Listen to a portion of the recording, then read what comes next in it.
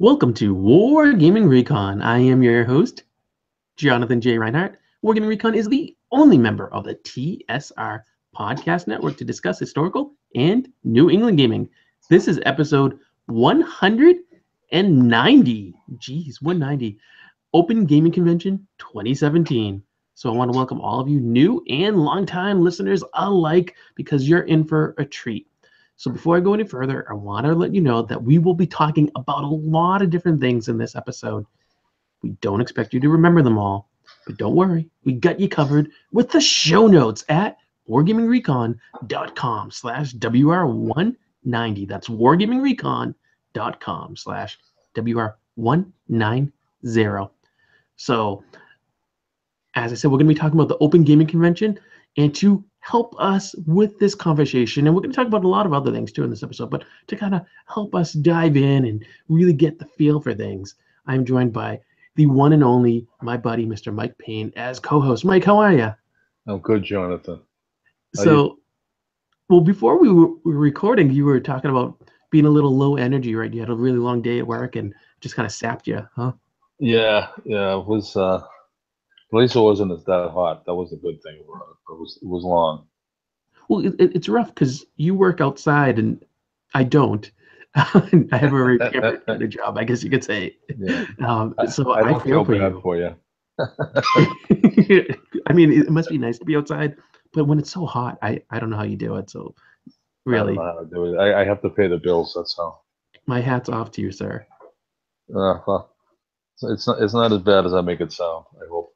No, I think you should play it up because hey, why not? let's let's forget about that stuff. Let's talk about gaming. so we were talking about things that we wanted to discuss on the show and of course we're going to talk about the open gaming convention and we'll do that a little bit later in the episode but we wanted to t- start off with a few other things that we think might be of interest and one of them is some of the stuff that we've been doing recently in the hobby some of our recent wargaming and all that kind of stuff so mike i know you've been doing a lot of prep for conventions and you're probably gonna laugh, but uh, what sort of gaming stuff have you been doing lately? gaming stuff. Yeah, any have you been doing any modeling or? Uh, Well, yeah, well, I got, I got a, a bench loaded with all kinds of projects that are not getting done.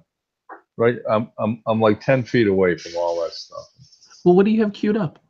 Well, I have uh, I have a, a a wargaming recon soccer stadium that I haven't touched in weeks.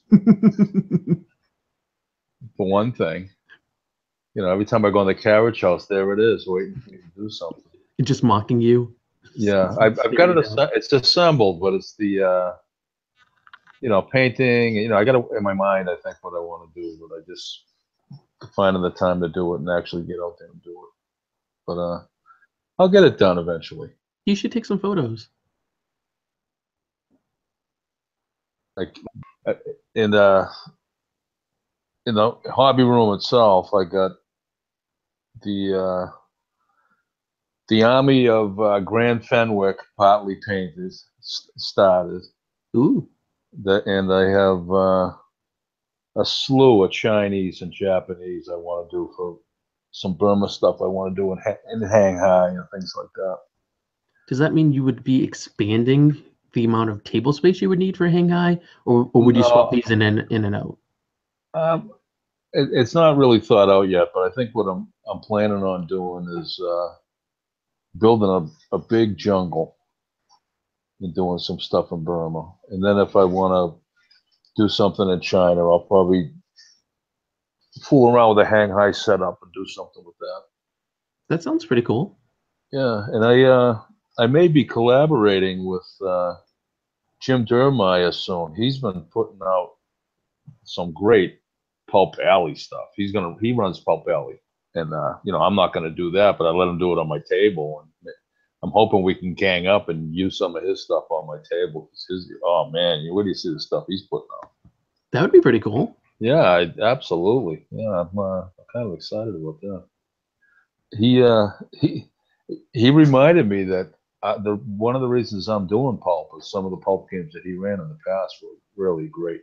I had so, so much fun playing them, and uh, that really Uh, he was calling it the genesis of Hang High, and I can't disagree. Hmm. Yeah, I don't know if I thought about it like that at the time, but it's true. Well, I think we all owe him a debt of um, gratitude because Hang Yeah. Is a lot of fun to play. Yeah, I was always I was already doing, you know, Asian stuff, Boxer Rebellion, and etc. But then when I started playing his gangster games, it's like, oh, this is just cool. Let's uh, let's uh, let's let's see what we can go with it. You know, and, uh, took me over. I have the Nautilus. I have the Nautilus in there. That's half built. I've only been working on that for over ten years. I built a periscope and I use that for the Nautilus in the game. So I got a feeling that thing's not getting off the bench at all. It's like half done, and I mean literally half. One whole half is all modeled, and the other half needs hours of work, and I just don't feel like doing it. well, you know, if you cut it in half horizontally, you can just put it on top of the table, and Well, yeah, I could do. that. because I mean, like it would be submerged, right, well, or partially submerged. uh, no, I don't know. No, I don't think about it. Uh, I don't know. I am thinking about it, and uh, that's not working for me. okay. I'd really like to complete it. I just, I don't know. I haven't, I haven't got the motivation. I have this great flying ship that uh, has been sitting there almost as long, and I'm already thinking about making a, starting another one from scratch without even touching that one. I think you I just need a goal. You need to be told like you have a game or something that you need to have the Nautilus and you need to have multiple flying ships at, and then you, Well, you'll get them done. Well, that was the original idea, but uh, then I came up with the idea of building a periscope so I could just not have to do that. And that's kind of how Hang High's been going too. I have uh, when I first started doing it, I had like little cards with information for each character, and uh, after a while, people would repeat playing, and then they knew what was going on because they had played so much. So those have been uh, in mothballs for a while, and I've been doing it a little different than because I haven't had the time to, Well, to just. You should give yourself some credit though, and go easy on yourself. I think you've hit a critical mass where you have so much stuff for Hang High and you have a following that you are being pushed to always keep it fresh and different. And that takes a lot of energy. It takes a lot of um, material and skill and supplies, and it just it takes a lot out of you. Yeah, well, it, it you know I, I like I like the being pushed part of it though. I don't want I don't want it to be the same. It won't be as much fun for me, but, you know. No, no. But uh, some some of the players come up with some great stuff. I had uh, this young kid Ben. He's been playing since in, the, in this game since he was four, and uh, he just he came up with this. I, I have this thing. Uh, uh, Joe Cavallo gave me this thing. I don't even know what it is. It's, it looks kind of like some kind of a sphinx, but fancier. And uh, Ben decides that's I, you know I have all these uh, artifacts, and one of them's called the Menacing Shadow. So Ben decides that is the Menacing Shadow. So now that that thing is the Menacing Shadow. When that card comes up, you get control of it, and it's almost like having control of the dragon when we when we run when we run the Hang High Dragon around. Yeah, So- that's pretty impressive. Yeah, so Ben was kicking some butt with that for a while until it got killed. So I know someone who's not played Hang High who really needs to, and he's here with us right now. Our friend and co-host, Mr. Alex Kostopoulos. Alex, how are you? Hi, how's it going? Can you hear me all right? We can, of course, hear you because you have Hi, that Alex. fantastic radio voice. We receive a lot of Yeah, fan mail yeah, Alex, that. Ladies and Alex gentlemen, needs to play. Everybody needs to play. I, I definitely do want to. Um, and I had my opportunity. I blew my opportunity at, at Havoc this year because I left. totally did. I left with you guys. I should have just stayed. But it was stayed, it was Oh. snowing cats and dogs at that time. I tell you. Yeah, well, that, that was that was tough. That was a tough one. I uh, I was worried that nobody was going to show up the way the weather started. Though. You know when you could play Hang High next, though, Alex? You could play it at the Hobby Bunker Game Day, end of August. Right, that's mini hang high while we running. That's okay. It's a good introduction, though. It's just Yeah, mini well- hang high. It's just mini hang high though. I mean, you know, That's right. But it's easy. It's kind of close. go standard. go home. Standard I mean- size table. Mike will be there running it. It's going to be fantastic. Adrian and I will be at uh, the Hobby Bunker Game Day. We're going to be doing a live recording of Wargaming Recon. You two could come, and then you'd be able to play and hang high. And we're going to play and stuff too, and it'd be fun. I, I, maybe we'll see. We'll see. I can't. You know me. I can't. I can't make any commitments to anything ever. You are about making commitments the way I am about painting anything. it's a little far off too. End of end, August. end of, end of August. That's no. I he just. He, I have. I have no excuse. I'm just a bad planner. I am your wargaming wife because I nag you. It, It is you know, true. That's sexist. I take that back. But it, it, I, I nag you is what it is. Significant. You're my wargaming significant other. yeah. Non-gender specific. I'm a Well, little frustrated because I can't get my camera to work. Somebody made me buy this camera, The and, jerk. uh, and it does work because I've tested it with you, uh, or at least I've tested it. Maybe not with you, um, but for some reason it doesn't want to do what it's supposed to do. Is there an on switch? Do I have to yell at it? so what you do is you plug it into your computer Which I did. It sees it. through the USB port, Did and then when you are in your, for listeners who don't know, we record these via live via YouTube Hangout. So near the top of the Hangout window, you're gonna see some little icons if you move your cursor up there. Yeah, yeah, I got that. I, I, I'm there. I'm in the And settings, and them it is the says settings, cam- and- and it says camera problem. Hangouts can't use selected camera. Without a working camera, the other participants won't be able to see you. Well, it could be your port, is my guess. You might have to put it into a different USB port, which is unfortunate because you joined us and I, I looked and I was like, oh, Alex is here. And then I was like, wait, I see those archers from the no Disney video. Robin Hood again, which I love, but I was like, wait, that's not him. All right, I will humor you and try a different port. Please do. And while you're doing that, um, I've been very weird lately because I've actually been doing a lot of gaming. And so recently, Well, lucky you. I know it like I don't know what it is, but I just I don't get up to game. But that's not true lately. So I, I'm gonna have to admit I don't normally get out to game, but lately I've been doing tons of gaming stuff. So was at Battleground Games and Hobbies in Norton, Mass, playing the Axis and Allies World War One game called 1914. It is so good. I think you posted a picture of that. Yeah, I, I was thinking about getting that. It's expensive though. It's like a hundred bucks for the game. Yeah. Well, that's why I don't have it. And then um a common complaint with it is that they don't give you enough of the the little people so and, and this actually really bleeped me over the first round so i was playing it with adrian and then two friends of ours uh, carrie and john. And it's actually john's copy of the game. But no carrie wasn't there i'm sorry uh, with john and with rick. And rick also has a copy of the game. Didn't bring it. And so we, for a four-player game, they tell you how to divide it up, who gets what, because there's a lot of nations involved. So you have the Central Powers, you have the Allied Powers, and I, of course, ended up being on the Central Powers. I played as Germany, which seemed appropriate, and Adrian was on the Allied Powers, so he got Italy and Russia. Uh, John was on the Allied Powers. He got the U.S., France, and Britain. I'm missing someone, aren't I? Um, and then um. Oh yeah, the Ottomans. And so then the Ottomans uh, for the Central Powers, Rick got them, and he got Austria-Hungary. Oh, yeah. I, I might be missing someone, but I, I think I got everyone. Sounds like you got most of them. So uh, you know, you set the board as you do for any Axis and Allied game, and you run out of infantry people in particular. So as Germany, I have all my infantry people out, and then your first turn comes, and it's the familiar routine for the uh, play phase, where you um, use your IPCs, your money, to buy reinforcements and things. And I was like, I want to buy infantry because I knew you need a lot of infantry in the game, but there were no infantry tokens because they were all used up, so I couldn't buy infantry.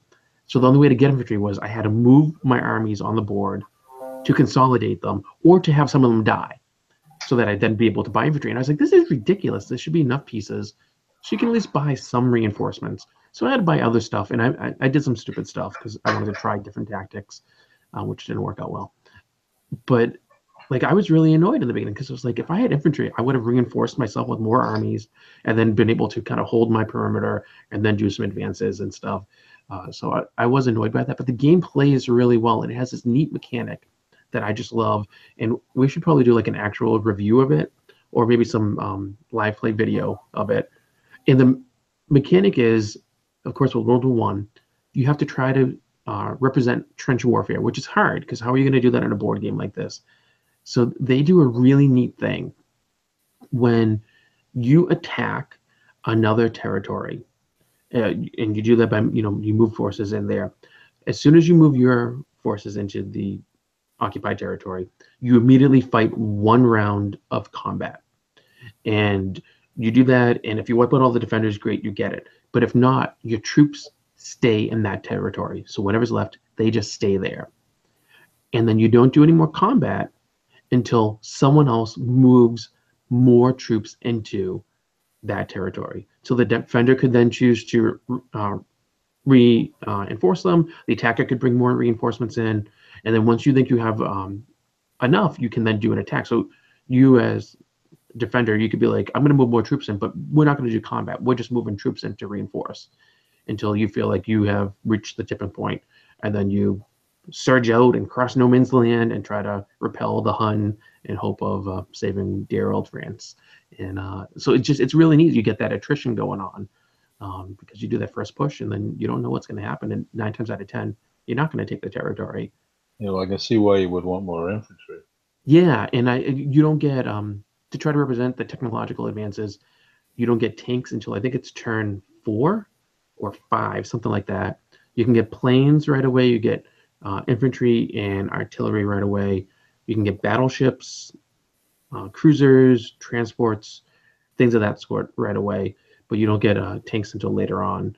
Um, I, therefore, I, I don't know how good tanks are because I didn't get to use them. Uh, but I built up a lot of battleships as Germany, and uh, we ended up taking um, Russia out. So they represent the Russian Civil War uh, really neatly if with Russia, you have um, Central Powers come in and they attack Russian uh, territory, and they end up having, I think it's two or more Russian territories adjacent to Moscow occupied by opposing forces, along with either one or two other territories. Um, if the Central Powers then want, they can um, you choose to initiate this rule, and then Russia drops out of the war. Oh. And um, if you completely own any Russian territories, you're fine. But if you have any that are stuck in combat because you move troops in and those combats haven't been, you know, resolved, no one owns that uh, territory, you have to, the attacker, i.e., Central Powers, have to at least keep one infantry uh, troop there to, to represent that like they're still working out differences, but there's not going to be any attacks or whatever. And so you can really type a lot of forces there, even though you've knocked out this one power from the war and um, it just it, it's neat. It's like the only one that does that, and a couple of them have required moves for the first turn, um, but not many nations do. And one thing I really like about this, unlike earlier versions of regular World War II Axis and Allies, some of those early ones, you had no way to win unless you did certain things on every turn. So it wasn't required by the rules, but players just figured out like, I, as a US, I need to do this, this, and this in this order. Otherwise, we will never win. And that's not true for this. You get freedom to do whatever you want and try out different things, and you still have a, a reasonable chance of pulling out a win. So it, it's a lot of fun. It's neat, but it's just it's so long. I think we started at five or six o'clock. We went until ten or eleven, and we only just got to the end of turn four, and things were still up in the air. But we we just called it because of time. Yeah, that's the trouble with those games. Although it sounds like I really want to play, but uh, we used to play. Um, oh, what the hell was the name of it? Uh, Avalon Hill game. It was. Uh, oh, jeez, I can't remember now. There's But- so many of them. We- We'd play like for like eleven hours, you know. Shogun or Fortress America or um. No, it was uh, more of an ancients thing. Uh, Oh. oh, there's a Rome one they did. I, I I actually have that. I was gonna try and do a. Uh, That's a good game. I can't Republic, remember. that's Republic of Rome. I was gonna try and do an email game with that. That'd be fun. Yeah, I know. You, everybody farts out on it. You know, they, they don't keep up. No, they don't. Other things to do. You know, Didn't so- they do a pirate one? It's like broadsides and broadswords or something like that. That you actually have pirate ships. Uh, I have broadsides and, and boarding parties. That's it. Yeah, yeah. I have that, That's a fun one. and I I also have the Avalon Hill Blackbeard game, which I wanted to turn into a miniatures game. I haven't given up on that idea either. But I think I think I'm going to have to uh, get some uh, interested individuals involved, or it's never going to happen. Oh, look at that! Yeah, Alex is here. back, and this is one reason why you want to watch the live show because you can see this kind of stuff. Or and we also we put this out on uh, YouTube, and we'll have it in the Roku channel and everything. But you can actually see Alex, which is Yep. quite nice. Hello, sir. How are you? Hi, how you doing? Oh, I know Yep, where just, you are. just needed a little reboot. Have you seen this There room? you go. I have seen this room. You gave me the tour. This this is the office, the That is grand the office. Yep. My uh, Sherlock Holmes picture in the background. How do you know that's exactly what I was looking at? I'm like, Yep. let me look at That's the the that's a great great piece there. Oh, Actually, over there too, I have some nice Star Wars art. Oh yeah. Harder, My harder to son see. just wrote a. My son just wrote a Sherlock Holmes short story. Ooh. Oh wow, that's awesome. Yeah, it is awesome. It was, came out- it was pretty good.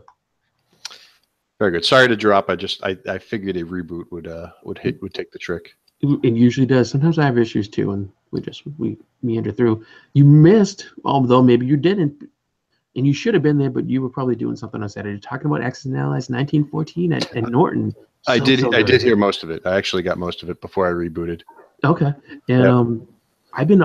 That's not the only thing I've done though, and it, this is weird. This is one reason why, for many many episodes, I never talked about wargaming stuff that I've been doing, other than what the episode's about, because I don't normally do stuff. But I've been busy because a while ago, and I mentioned on social media, but a while ago we got, or I got rather, a free review copy of the Perry Brothers travel battle game, and did an unboxing video. Uh, there'll be a link in the show notes and we're going to review it on an upcoming episode of the podcast. But I shot want to another play that. It, it, it, it looks good. I haven't read the rules, but it looks good. The rules are how many pages are they? They are not even a dozen pages. What is this? Eight, ten pages? Uh, And uh, some of now it just- A- assembly is what it is, and, and ideas for painting. So you got Mike. This is your kind of game, okay? It is. Uh, there's one, two, I want that damn game. three. There's four pages. Four, four pages of rules. That's it.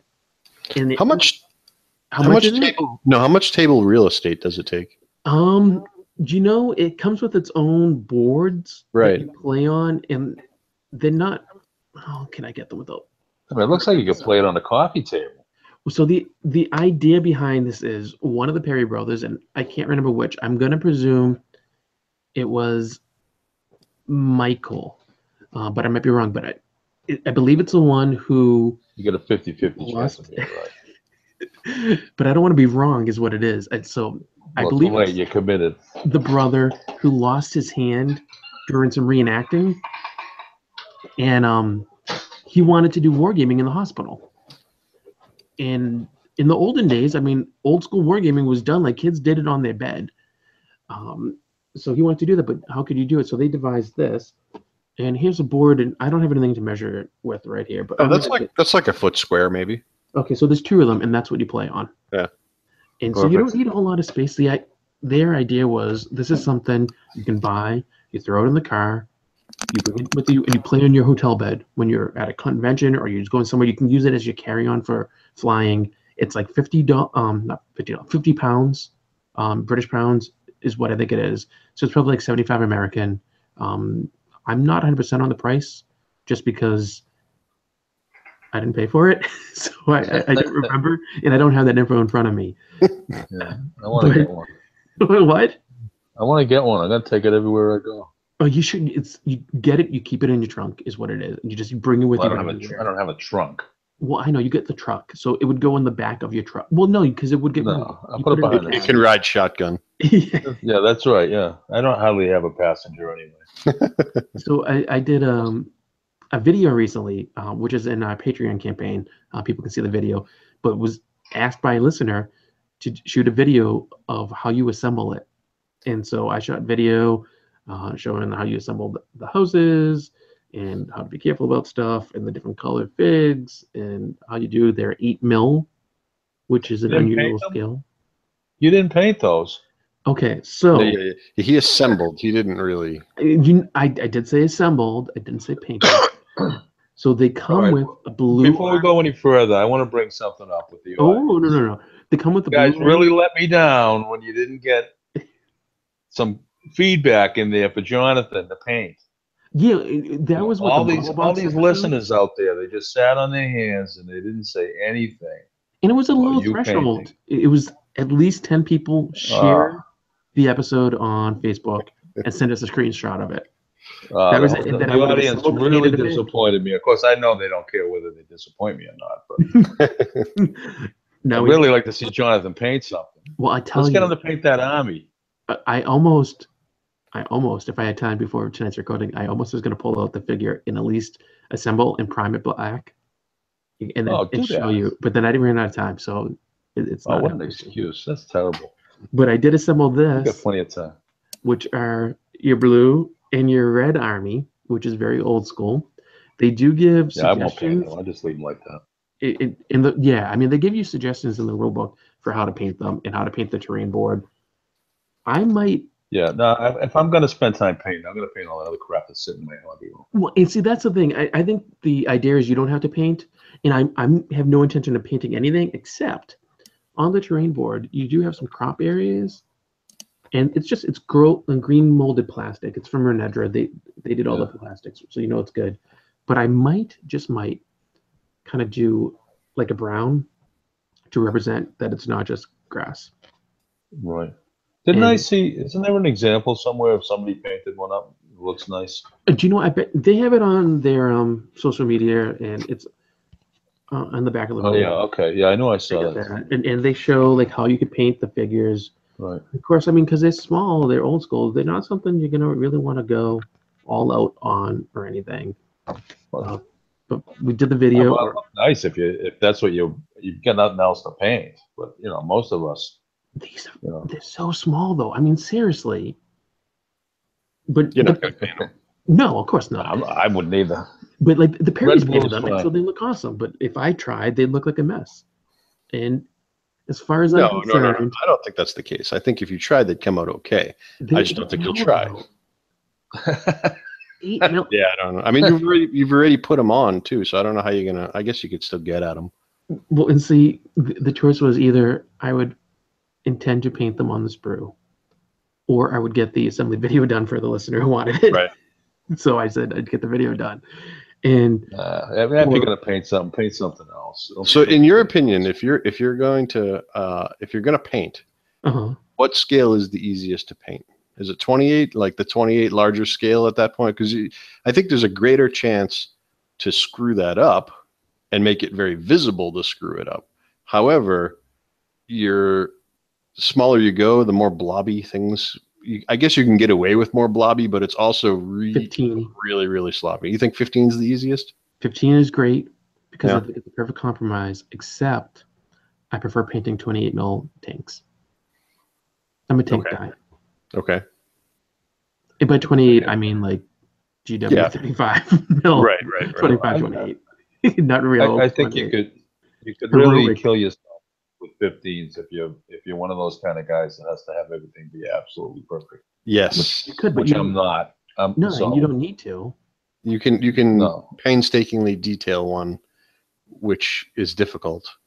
Whereas Right. you know 28 with the detail, if you if you want to put that level of detail in it, maybe it's a little easier because it's a little easier to reach. It is, um, but like yeah. then you I- really do have to put the detail in. right, but then you really I have to feel sort like of you gotta- obligated. Yeah, I feel like if you're gonna put that kind of work into something, I mean, I there's guys out there that have beautiful armies, amazing, you know. And I, I'm not knocking any of those guys. Stuff is really nice. Got kids playing in my game, so I'm not going to that. Yeah, but your stuff is still really nice. I mean, I've seen it. Well, it's nice enough, you know. I mean, I you know, I want it to look good, but I'm not. You know, if I'm gonna put my heart and soul into it, those kids aren't touching it. You know Right. What I mean? Yeah, sure, I hear you. And, and plus, I think if you're going to put your heart and soul into something, it should be like a display piece. Carol Pandolf at OGC painted a, a Cthulhu that was like incredible. And when my game was over, she let me put it on the table and take a few shots. And the lighting was bad, so I thought that was going to ruin the pictures, but it actually helped.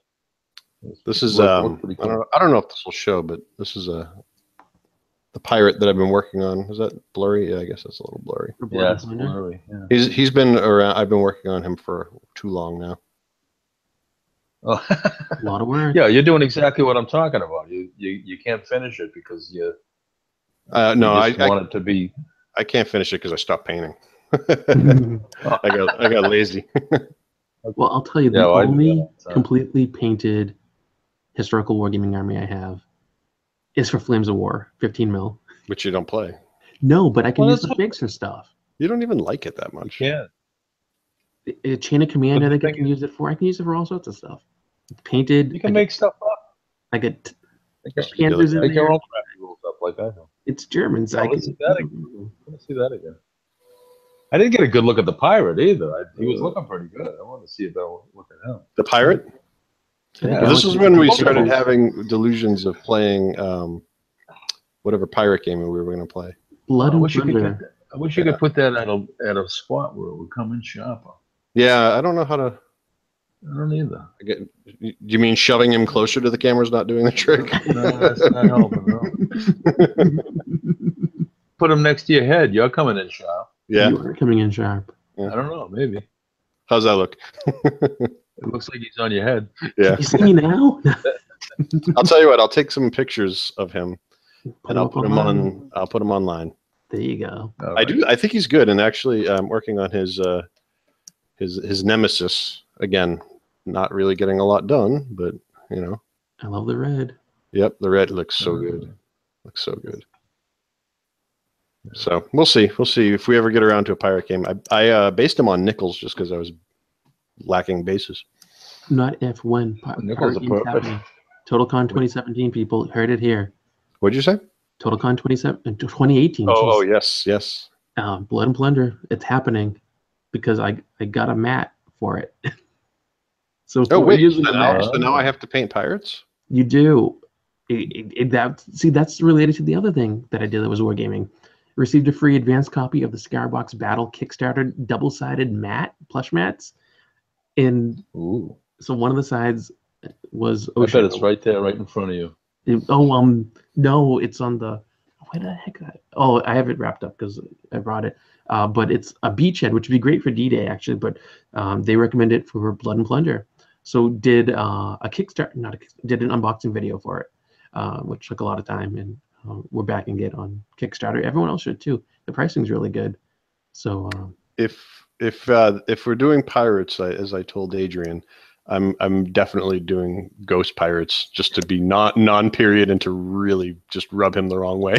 you should do because it'd be fun. Anything to just kind of and every time I'm going to say Zoinks, ghost pirates. Uh, see. It's okay for you to do that because you're not gonna be splitting a room with them at the con. That's true. If I did that, like, He, I think he already told me that I shouldn't. all it was advised Well, against. So now you have to do it now. Yes, yeah. Well, see, I I, uh, I do too much fantasy gaming to not to not do Ghost Pirates because that just makes sense. It Well, I fits mean, in there's a lot of use with them, right? exactly. Well, you know you're going to use them for something, That's just so why it. not? right, right. I'm big on the multi-purpose. If I'm going to paint something, it better be able to fit in a bunch of different things. Yeah, if it's not going to go into Hang High, then I'm probably not going to do it either. I kind of feel the same way. I mean, not about Hang High, but in general, you know, for, for my specific purpose, it has to fit. Yeah, the stuff that you do. Yep. yep. So, Alex, were those some of the things you've been working on lately? Those pirates? Oh, well, I, I think they've been sitting around for a while, so I'll say that I've been working on them. They've been on my painting table. That counts. Um, that troll that I showed, I, I was kind of doing him. Uh, he's been sitting there for a while. Uh, I started working on this guy. Uh, oh, nice. A Chinese uh, war dog. well, he's, he's a A lion? lion. Yeah, he's a Oh. lion. Um, and I don't know, I don't know what I'm doing with him, so I just sort of started dry brushing. I, I, you know, I based him, and then I started just dry brushing him to see what kind of effect I could get. I think you were So- holding him up to the camera. Yeah, you're gonna have to bring him to, You were holding him up to the camera. That's what you were doing. Yes. bring Yes. him to Hang High. So, Oh, yeah. that would fit. We'll find something for him to do. yeah, yeah. So. He, he can eat somebody. And then um, I don't know. I've been talking tough about getting the D and D game going, which isn't war gaming, but it is New England gaming because everything I do technically is New England gaming. I get away. I get away with that. yeah, hey, I've Uh, used it too. so yeah, we- we've been talking tough about a D and D game. Um, so I've been trying to get my head around that, and a- as usual, my schedule is just not easy and not awesome. So it makes it tough. That is tough. Yeah. Other than that, I've been playing a lot of Diablo. Does that still count as New England gaming? Yeah. Diablo three? What's Diablo? A I, video I know I've heard. Diablo? Yeah, video game. I've never played it. I don't know much about it. You can play it on Yeah, it's a video right? game. It's a pretty mind mind Is it a numbing role playing game? Yes. Kind of. Well, It's more like an game. honestly, it's more like an arcade game. Kind of a role playing game. Well, it, the, it's like actiony. So to me, it looks more like an arcade game. You basically have a guy, and when he's powerful enough, you're just tearing through. It's not like a painstaking turn-based, you know, fight. It's just sort of blow things apart constantly. So is it a video game or board game? What is Yeah, yeah, video game, video game. Oh, it's a video game. All right. Well, that's why I don't know nothing about it. I don't touch. those Yes, games. yeah. Yeah, you played on the computer, Mike. If I got addicted to one of those, I wouldn't do all this other crap I'm not doing. Well, that's kind of what started to kill my painting. Is I started doing other things Yeah, like that I- again. Yeah, I'm. I'm. Uh, I have a legitimate fear of getting involved in something that I, I like. I used to have this uh, DOS game called the Age of Rifles, and you could play any major engagement that took place during the uh, 19th century, and I was hooked on that big time. Mhm. And now I can't use it. I can't play it on this computer, so I'm That's good.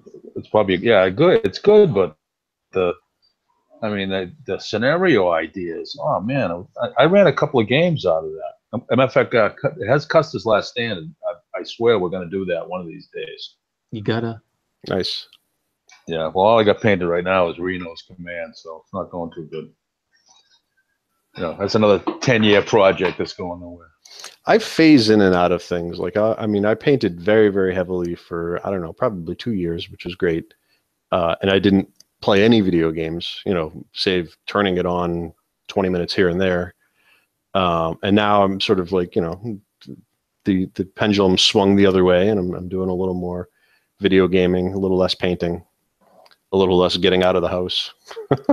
yeah i got to stay away from the video game stuff I- I've been doing Oh. more of it too because on the side, I started reviewing video and computer games for a, a blog that's not ours, Oh, and so uh, I, I've been doing more and more of that.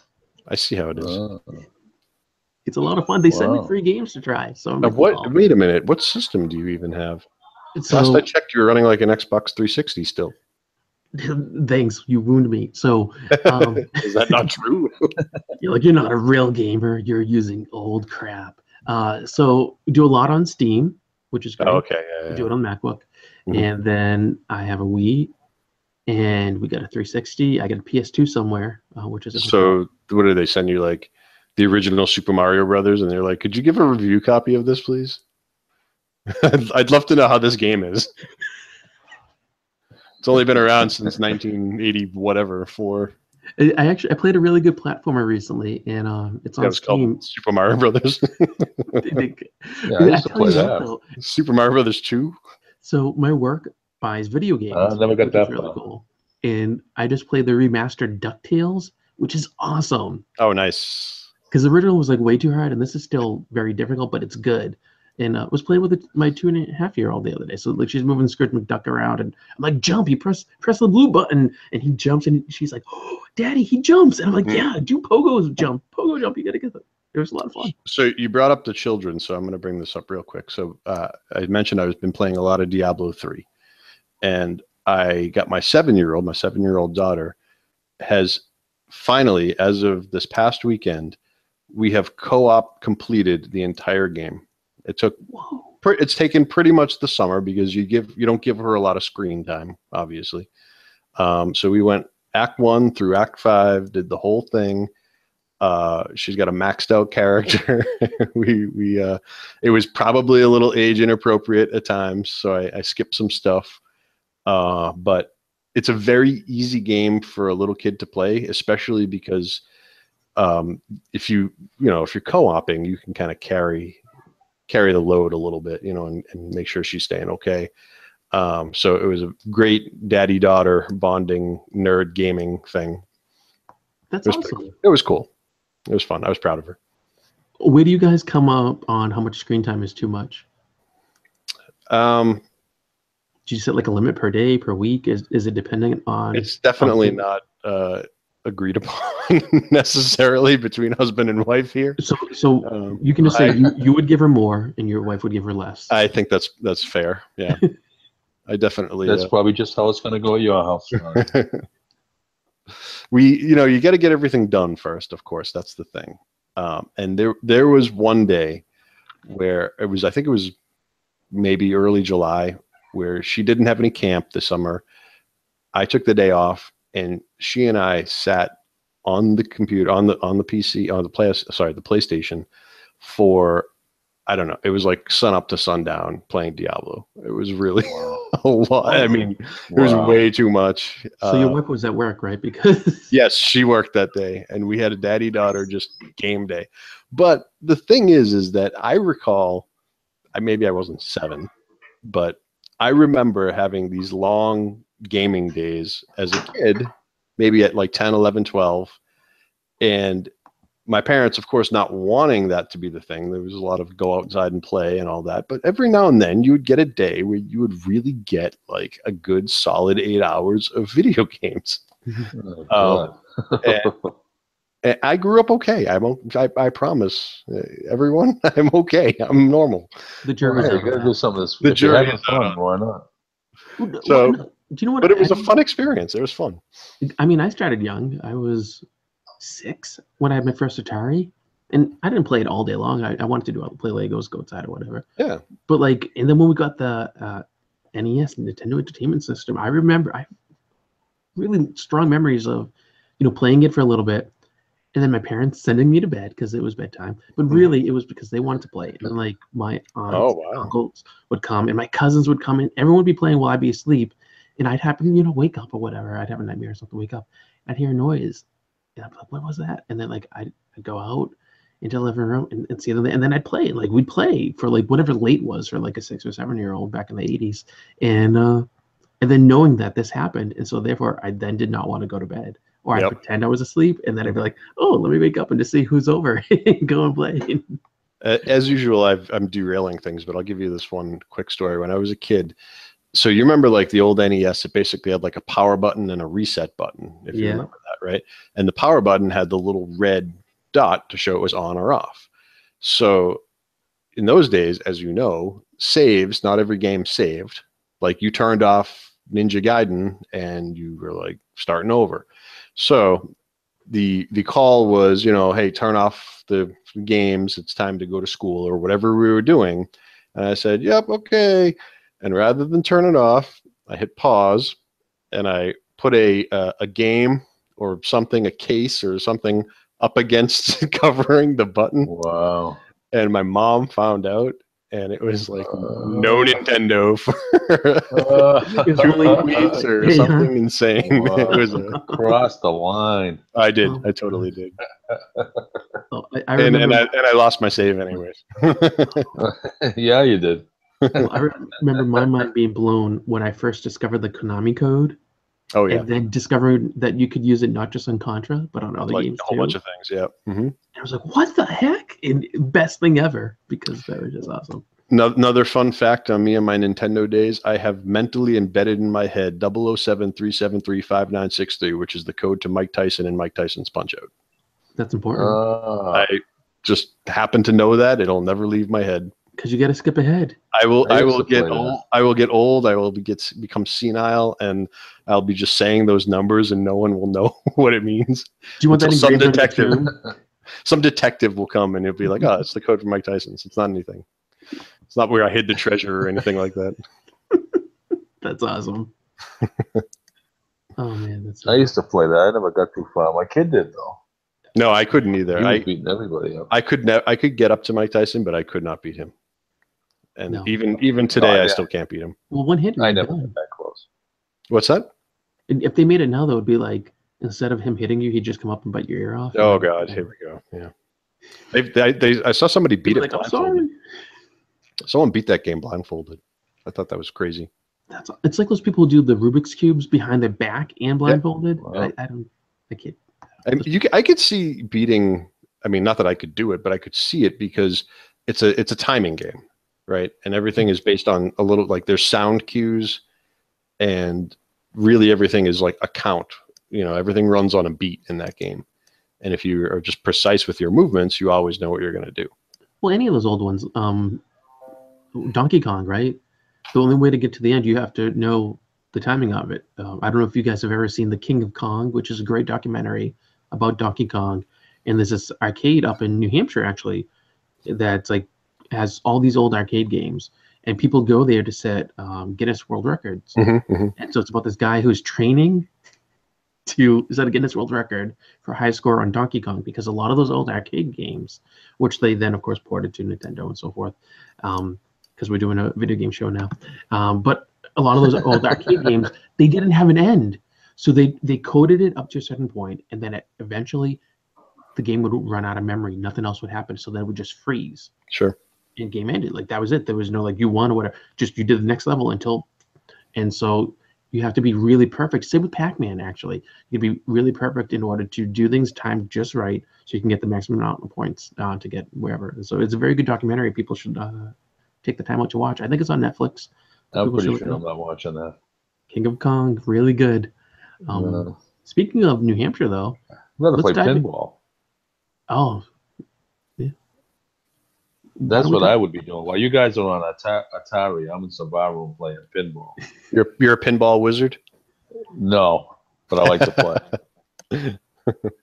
or shoot pool, which I'm, I'm even worse at. I'm terrible at that.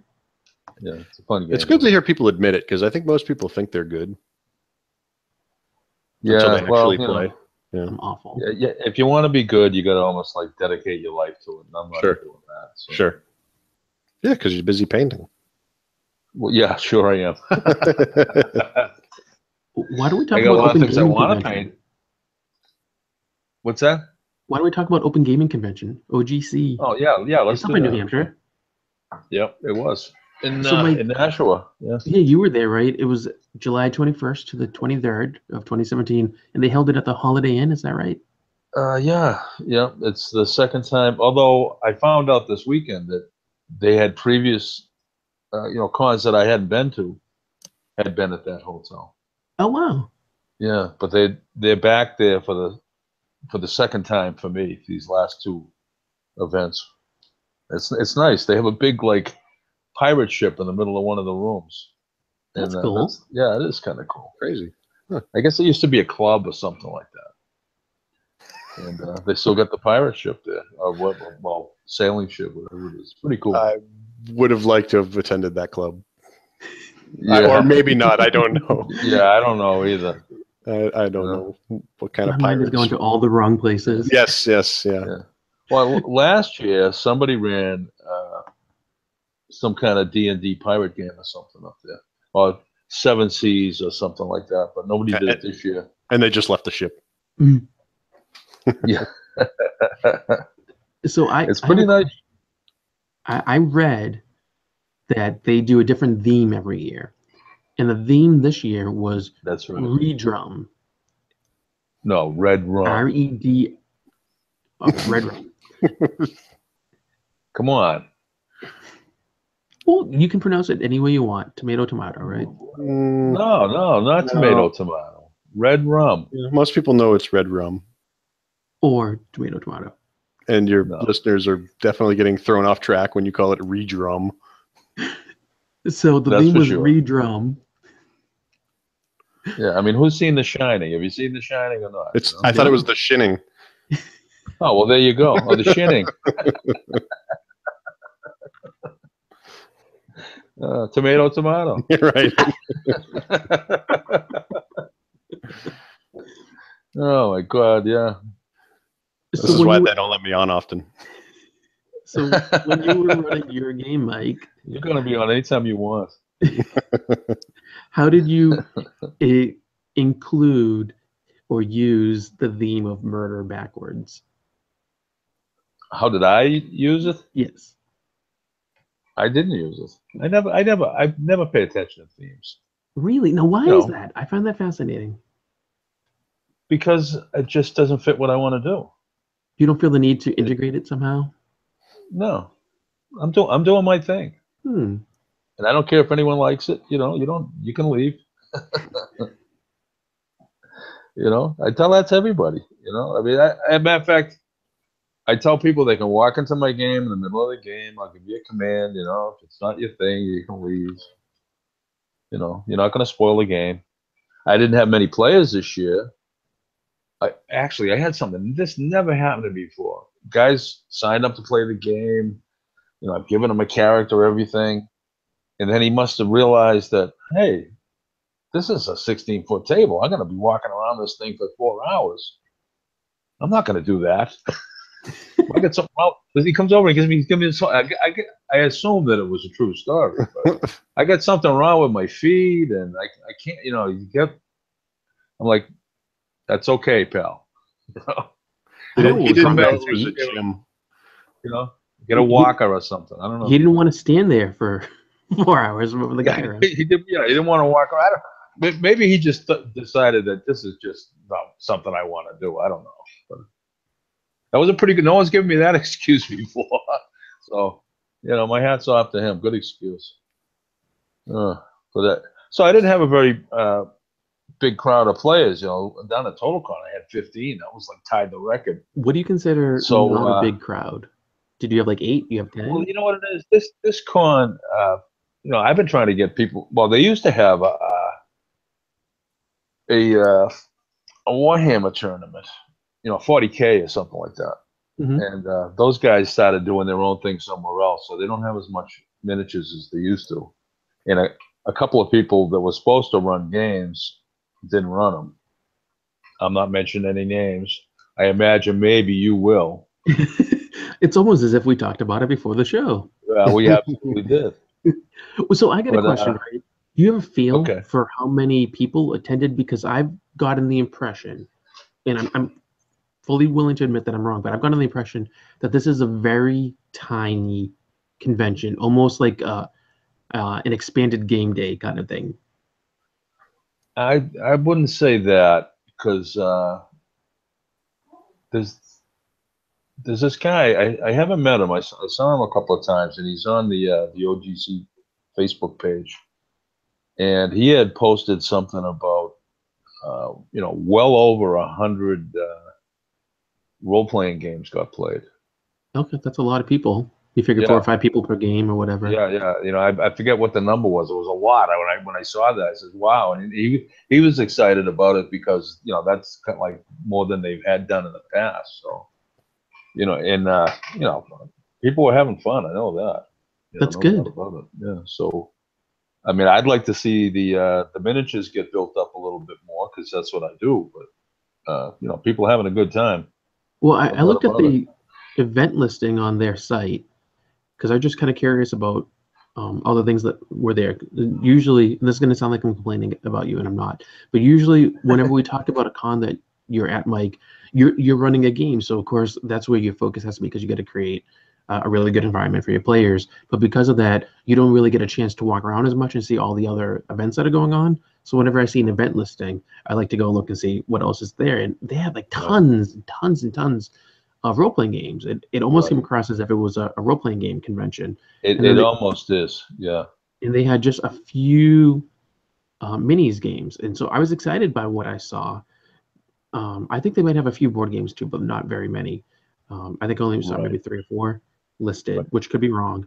But they Right, had well, uh, no, that, that, that's right. But uh, I had a friend of mine that, that wanted to come. He had some friends he wanted to bring. So, but he's a board. He wanted to play board games, and uh, so I I asked about it, and uh, there weren't that many board games, but they do bring their collection. So there's a whole library of board games there. oh, so you can just you you Yeah, go there's- walk in and there- just there's do a a pickup of game. games. Yeah, if you want if you want to play a board game, you, you're gonna be, you're gonna be able to do that because there are quite a few of them there. Matter of fact, you could probably get somebody to show you how to play a board game. You know, if there was a certain one you wanted to learn. I know. When I- uh, when I looked at the event listing, there were some things that really stood out to me as uh, things that must have been pretty awesome for people or that I would consider a highlight. So like the I saw Andre Krupa listed running a bunch of Oh, Star yeah. Wars Edge of Empire RPG things. Yeah. And I don't know how many people are familiar with them. I- Mike, I know you are, but like he runs these really awesome immersive role playing game events, and I never knew he's connected with those Dark Phoenix Phoenix people who do the Dark Phoenix RPG events. Right, and he has he has his own uh, thing too. Uh, I think it's Soapbox Games, Mhm. and uh, yeah, I actually got he he and I are at the same con many times, and we don't even cross paths because he's doing his thing and I'm doing my thing, and uh, you know afterwards like, hey, did you have a good time? But uh, we did get, get a chance to chat this year, and that, that was kind of nice. I go to a few cons he's at, but I got to say I only ever see him when I go to TotalCon because he's an industry guest, and so I see him at the end of the day when I'm hanging out with the industry Oh. guests, Right, right. and like I'll wave at him or whatever. But even then, like I don't really get to chat with him because I'm, I'm talking with other people, um, you know, at those after hours kind of events, and that's about the only time I get to see him. Like I email with him because he does da- a database stuff for like Huzzah, and I think he helps out Havoc. Oh, that's right. Yeah, he does all that stuff too. Uh, so I'll email him and, and talk with him that way, but in person, I don't get to see him. Um, Alex, did you get to see him? Or you may not even know who he is. Did you get to see him at Havoc? No, I I, I don't think so. Uh, You gotta play to a play. playing. I, I hear that a lot. I got to play. Mike, don't you think Alex would love playing in one of his things? oh, I'm sure. Oh, yeah. Well, I don't think anybody wouldn't. He, know, he's won bet- some like GM awards and stuff too, I think. Oh, wow, neat. Oh, yeah. And doesn't he publish? He publishes. What's that game he published? He got. He won some sort of award for. I, I can't. That's terrible. No, I can't- well, it's the game that he runs. No, but the, You know, I can't think. You know, it's the horror stuff. yeah, because he does a lot of like Call of Cthulhu style things. Yeah, he he brought me up uh, when the OGC was at the other hotel. He brought me up to show show me his uh, setup, and he's got all this lighting and sound. I mean, this He is does like you know, and it- stuff too. It's, and it's a, a- matter of fact, I, I remember the term now that he uses. It's uh, immersive role playing, yeah, and it's got to be incredible. You know, Cool. it- yeah, definitely cool. his stuff sells out really fast. And so like I saw him listed not just once, but like three or four times for Star Wars, and I thought, oh, this is a system I've wanted to play for a while. I actually have the core rules, and I I never read them, but I was like, I love Star Wars, so I was excited to see him listed. And then I saw Mark Edwards listed, uh, who I know from uh, TotalCon. Uh, I've seen him floating around there, and he was doing the Heroes of Altamira uh, RPG stuff. He did like tons of them, which I think that might be the Seven Seas thing you're thinking of, because I, I think that's the Oh, core maybe stuff he does. could be.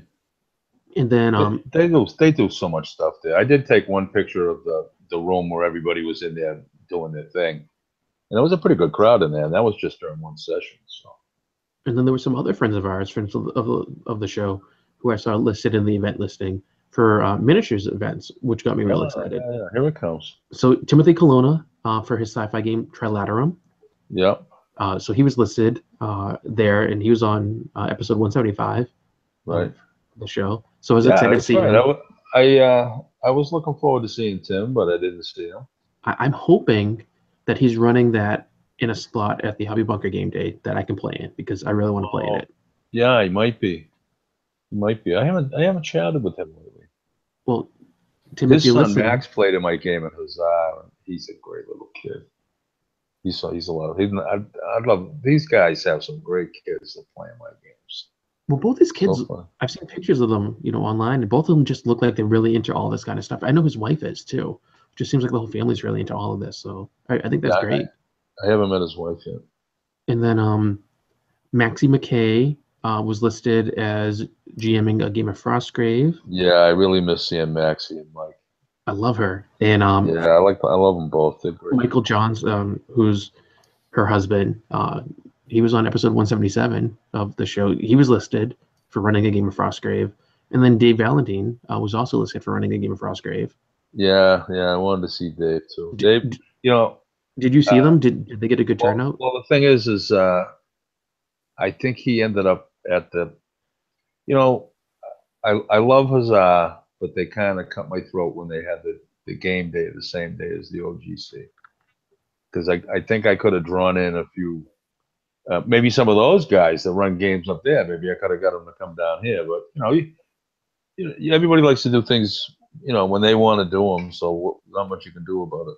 But uh, I know it wasn't intentional or anything. They don't know what they don't know nothing about the OGC. You know, they're doing their own thing. So Oh, do you know what? Because I saw the postings about the um, Maine Historical Gamers Association game day, right. and um, they sent me invites because I'm an MHWA member, but I didn't even connect that they the same date. I didn't. As I didn't either.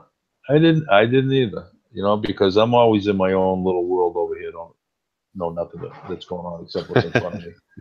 You know, but uh, There must be a way that it dawned, it dawned on me when I was the only miniatures game there. you know, I'm like, really?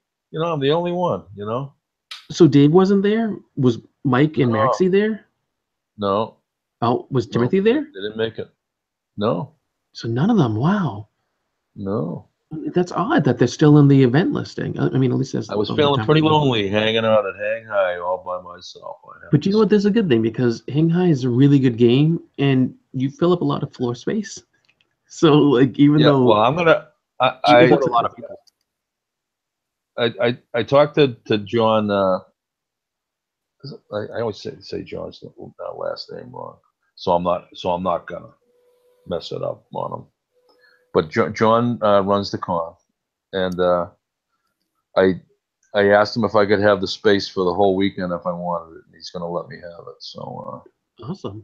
so I'm gonna be running, you know, maybe five hang high games. Wow. you know, because I'm gonna I'm not gonna stay at the hotel, but uh, it's a short ride for me, so I can leave the game set up all weekend. And because I had people come up to the table and says, "What what what slot are you running in?" It's like, "Oh, well, I'm I'm doing this," you know. So I definitely would have had uh, a few more people in in the, if I was available more than one slot. So I think I'm gonna try it out next year. Plus, it just gives me the excuse to hang around with everybody too. I, I, it's a fun con. A lot of people there that I really enjoy spending time with. Carol Pandolf has this paint table thing. That Yeah. you know what? If I wasn't if I wasn't running my game, I'd probably be over there the whole time because she's got all kinds of little things to paint there. She's got the brushes and everything. And She does. I did paint something one year. Every year Yeah, I see yeah, you she listed at does, yeah. Totalcon. I'm like, I'm gonna do it, and then I never do Yep. because I get busy. But I, I need to get table- to OGC. There was some people at that table like the whole day. There was one guy over there. I, I, I had to go over and say, "What the hell are you painting?" You know, he's been here all day. You know, but it turned out uh, he was touching up his whole collection, so that that made sense. I'm like, how long can you paint a miniature? My God, I would have. you know, Well, some people might take say 12 hours to paint a Flames of War objective marker. I'm just saying. I'm not gonna name names like myself. yeah. Well, it better come out good if you're gonna do that much. Jeez. But you know, something like that's what I need to sign, go to a con like OGC, and sign up for something like that, because then I would actually paint. I'd get something done. Yeah, you should. You should bring that figure. What is that? The Ba- barbarian? It- It'll still be in the blister. year, next year, come up to the OGC and Carol will get your paint.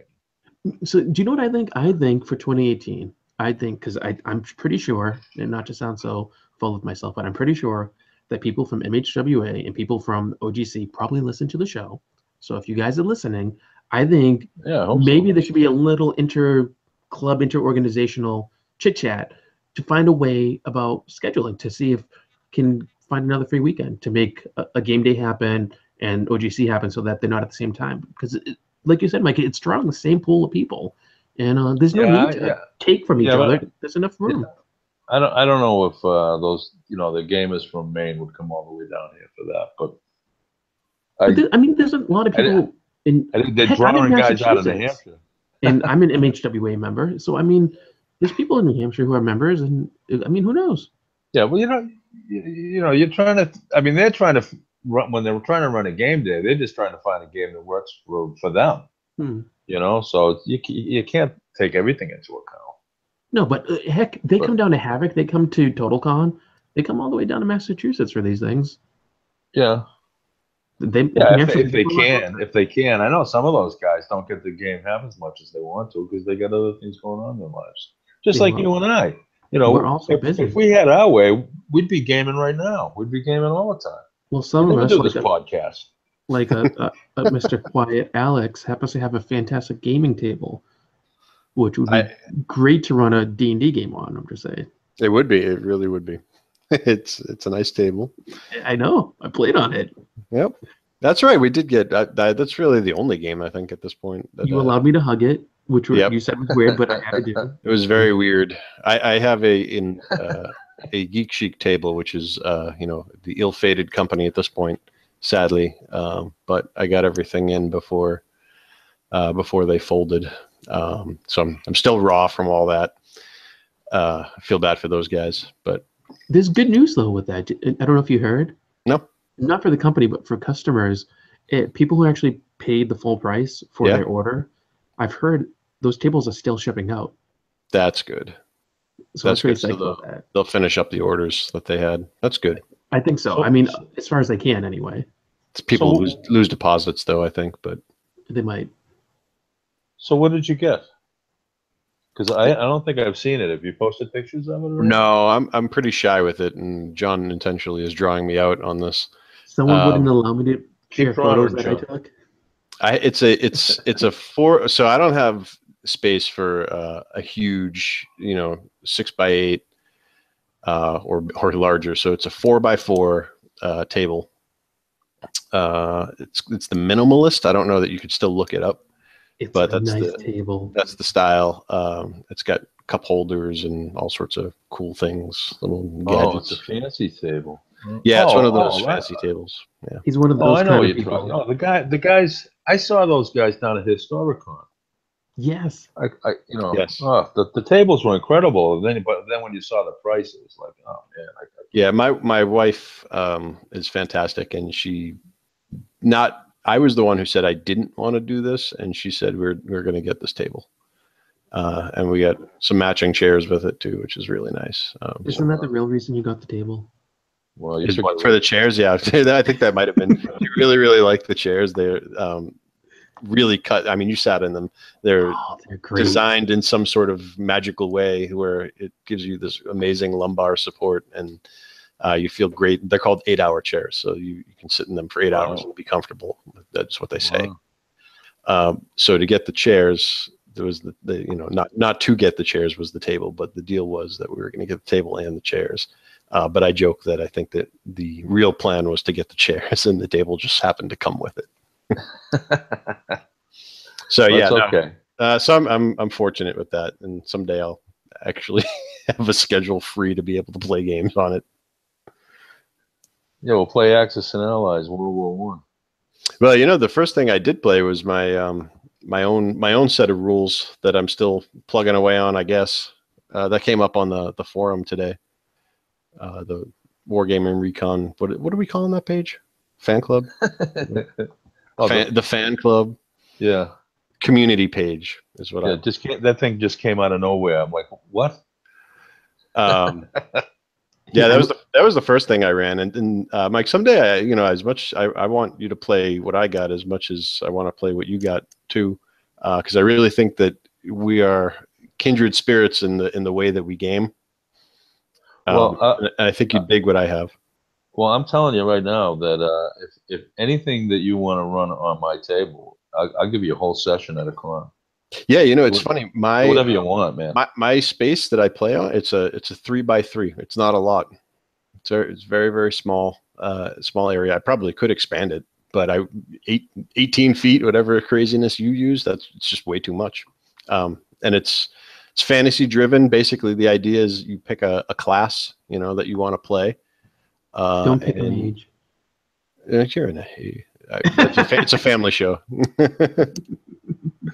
uh, John doesn't like my design. because Wild he magic. doesn't agree to his That's not a mage thing. Fine. It's what's what is it then? Because I'll just rename it. Uh, They see that would make me happy. That would make me incredibly happy. And I'll call it Nah, the don't make source- him happy. I Don't will make call him it the happy. sorcerer. How's that? that would work. Okay. I, I got that board game. You can't use that. so yeah, so um, yeah, you, you basically pick a class, and the idea is to clear uh, essentially checkpoints on the board, right? And then um, each time you clear a, a spawn point for the enemies, which is I'm calling them checkpoints, but they're really spawn points. Um, a boss appears, you kill the boss, uh, collect gold, upgrade your guys as you go along. It's not that dissimilar from some ideas that you've talked to me about in your own stuff. Well, I don't see why you couldn't do it on a bigger table. Um, Why not? You know, just for just ma- mainly because I think, well, I don't think I have the for, to support 18 feet of yeah, table. but, yeah, yeah, but I do. Well, do you have fantasy? I mean, it's it's fantasy based, so Yeah, so what? You know, I had a I had a I had a friend of mine that made a couple of uh, gyrocopters for me, and he thought that, geez, I wasn't sure if these were going to really fit into your theme. I'm like, what are you? What theme? You know what I mean? I, will put anything on that table. You should see some of the crap I've had on that table. no, yeah. I mean, I don't I don't know what Yeah. exactly you have. I've seen I've seen a layout. That's it. Well, yeah, you, yeah. Well, that's you know, I mean, this is basically what I tell anybody who wants to come back. If they if you want to come back and play another time, you don't have to use my stuff. Bring your own crap. You know, I let the Yeah, kids. I- You know, I, Right. I- what if we had uh, Space Marines on there up in Ha- Hazard? sure. You know, Yeah. and as a matter of fact, one he left, he left one behind. No, Didn't funny. It's Adam still- run something on your table? it's What's that? Didn't Adam run something? Was it Frostgrave he ran on your table? Oh yeah, yeah. Adam ran Frostgrave. Uh, I could see not, Frost. not this year, but the year before. Yeah, I Yeah, it was fun. We had a good time. Mhm. Yeah, and it's that's, so that's yeah. My, I, on my I end of things, Julie I- and Michelle in that game. If only My- there was my- a convention you both could perhaps go to that would be conveniently located they where don't you exist. could run such a thing. Doesn't exist. If only. OGC's not too far away. Nope. I'm gonna be there the whole weekend next year. I'm planning on it.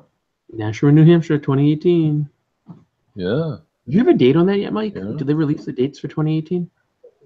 I, they may have, but I there's no. I can't even remember what week we're in. So, but uh, you know, I I guess I should like ha- have all these answers all worked out in advance, Jonathan, so I can actually answer it like I know what I'm talking about. But I don't. As but you I know, don't. we're very professional here. we're a quality well, show. you- well, we do pretty good. We try. Um, what else do we want to talk about about OGC? We we leave anything out? Uh, yeah, I'm sure we. Oh, yeah, I, I wanted to talk about uh, Don Don Higgins, the uh, the illustrator, was there. He's fantastic. And, uh, what's that? He's fantastic. Yeah, he is. Yeah, Love him. I, I bought his book. He he he did a. Uh, I, I'm gonna get this wrong. Uh, I'll, I'll do the best I can. He he did a. a challenge to himself where he was going to draw one illustration a day for 365 days. And uh, I bought a copy of that. And he, he gave me a couple of uh, prints of some of the books, uh, some of the uh, the illustrations that are, are in the book too. And uh, I'd been asking him. He had done a nice drawing of me dressed as a Mandarin, and uh, I love that drawing. And uh, I got this idea where I wanted him to do something like that for me again, but with some hang high themed stuff in the drawing. So uh, I know whatever he does, I'm gonna like. But it's uh, he took a picture of me with my uh, my hat that I've been wearing at the at the, the last couple of uh, cons, and I think he's I think he's gonna make two images of me, one with the hat and one with the uh, the Mandarin outfit and uh, little hang high thing going on. And then he says, "You can bring it to a printer," and I'm like, "Oh, I don't know, I'm gonna go that crazy," you know. That's awesome. But uh, yeah, no, it's gonna be great. I, I'm That's dying really for cool. it. Yeah, it should be really cool. If I could uh, trade things for a skill, uh, I would definitely w- would love to be a, an amazing artist. That I think that that's just so useful in so many different ways, especially Yeah. around this hobby. I mean, the things you could do for yourself in a game. Yeah, I used I used to draw when I was a kid, and I thought I was pretty good, but I didn't keep at it. And Hmm. that's like we were talking about earlier. If you want to be good at something, you're going to spend a lot of time on it. Yeah, of course. And Don says he's he says to me, "I'm uh, I'm better now than I was when I drew that." And you know, after you do, do uh, 365 illustrations, I guess some, something's going to break, right? Right.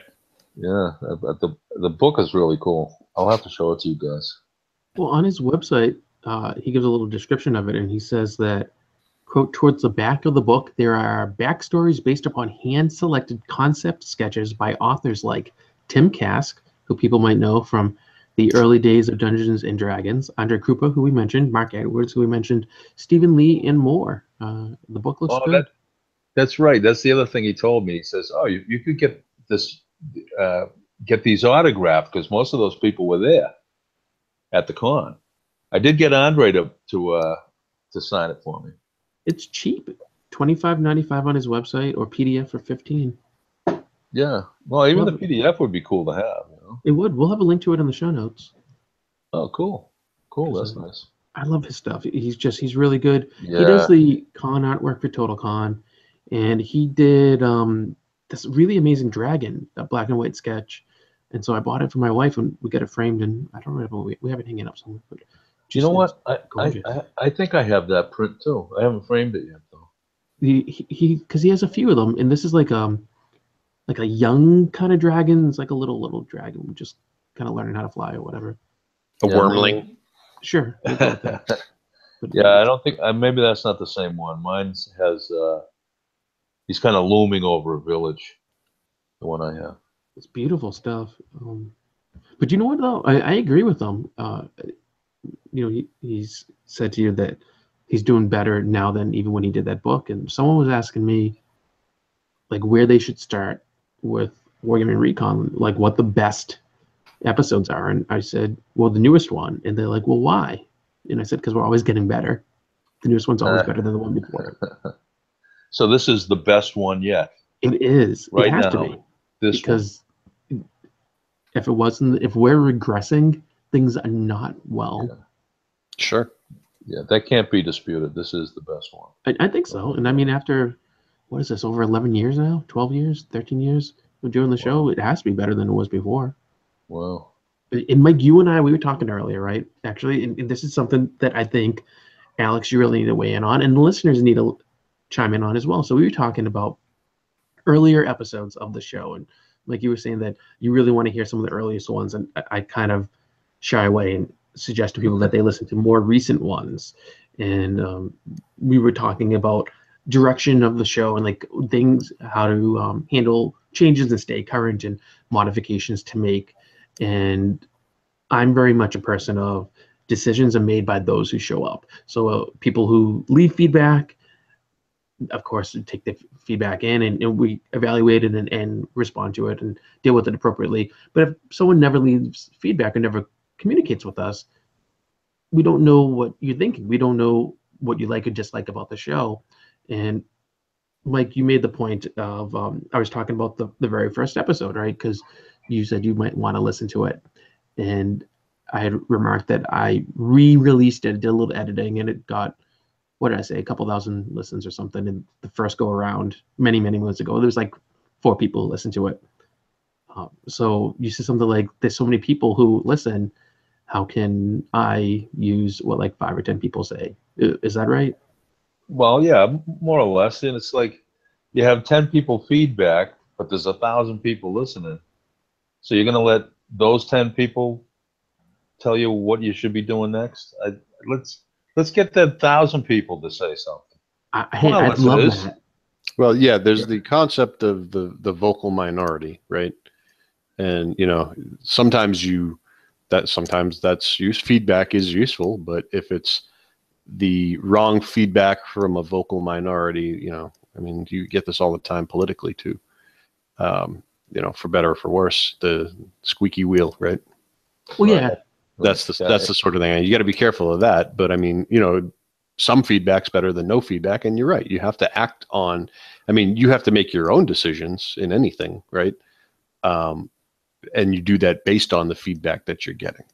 and I think I think I have a hard time with feedback because I want to make sure that I'm giving it its due.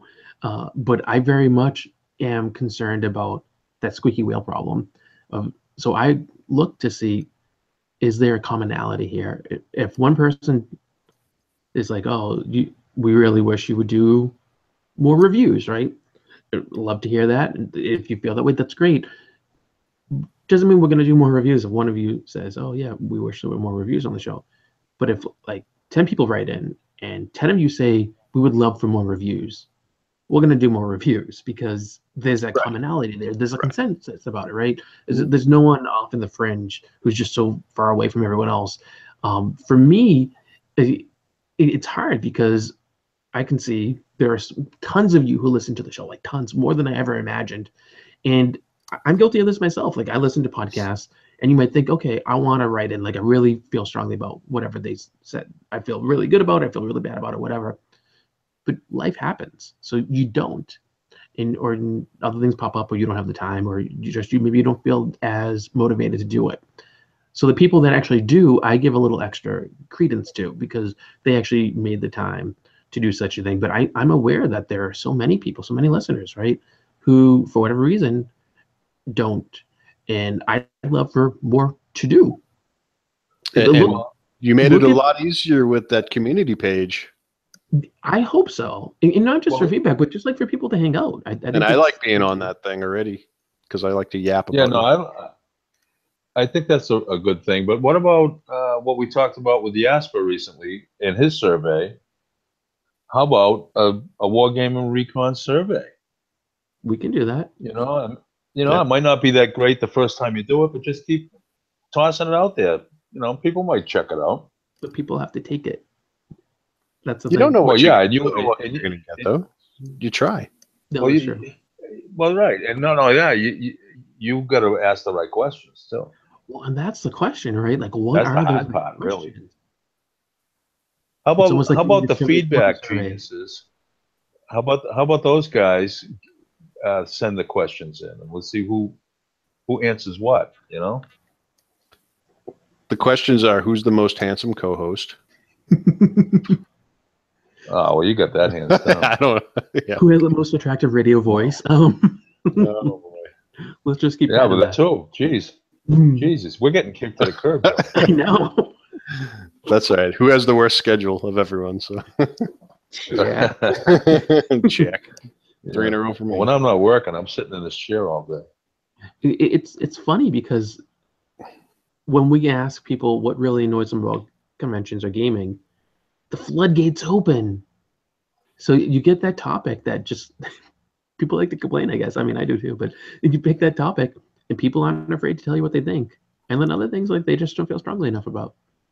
Yeah, well, sometimes you don't you, you don't have somebody to unload that kind of stuff on. Yeah. You know, you you're willing to give them a forum to to to bitch, basically. You know, and who doesn't love a chance to do that? I know my wife doesn't want to hear me bitching. Hmm. You know, even though she does get stuck listening to it sometimes. We do love the feedback. That is true.